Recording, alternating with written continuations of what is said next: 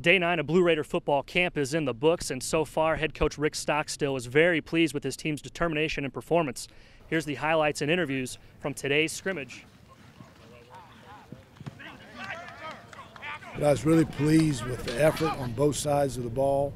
Um, you know, I thought we tackled good on defense. Uh, you know, I thought we did some good things offensively, uh, made some good throws out there, and we protected pretty good, you know, for the most part. Uh, we didn't turn the ball over, you know, which is a, you know, always a positive.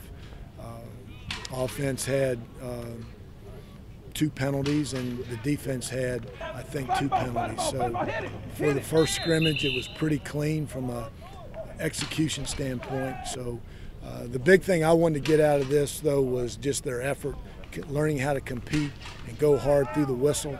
Uh, and I thought they did that today. And we'll go up and watch the film and, and see that for sure. As you see, we have two quarterbacks, and I feel like as an offense, I feel like we trust in both of those quarterbacks, regardless who's in. I feel like we have trust in both of them, and I feel like both of them can lead the offense regardless of how it goes, including Mr. Brent Stockstill. And Grammer. I already said Grammer. Being a high-tempo offense like you guys have, what's the biggest advantage of you, or biggest advantage having that high-tempo offense? You know, it's a big advantage. You know, our goal, you know, first and second quarter, I guess, you know, all defenses are going to get lined up.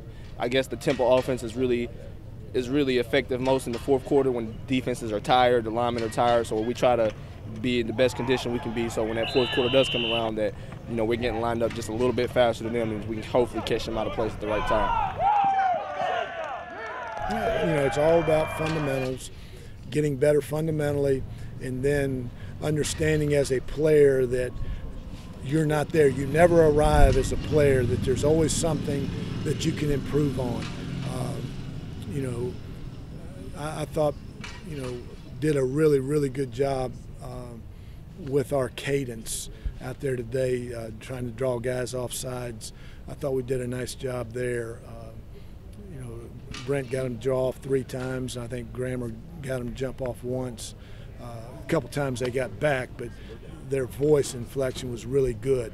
And uh, you know, so little things like that that you know you guys might not notice, uh, but we can always improve.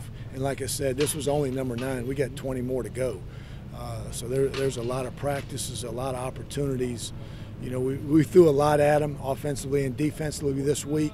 Now we'll start cutting back a little bit and uh, going over, repeating some of the you know plays and schemes and everything we're doing. Start getting uh, a little bit more in game mode uh, as this thing keeps ticking along. Well, that wraps up week number two of fall football camp for your Blue Raiders. And fans, do not forget that Sunday from 2 to 4 at Floyd Stadium is Fan Day. For GoBlueRaiders.com, I'm Jake Rose.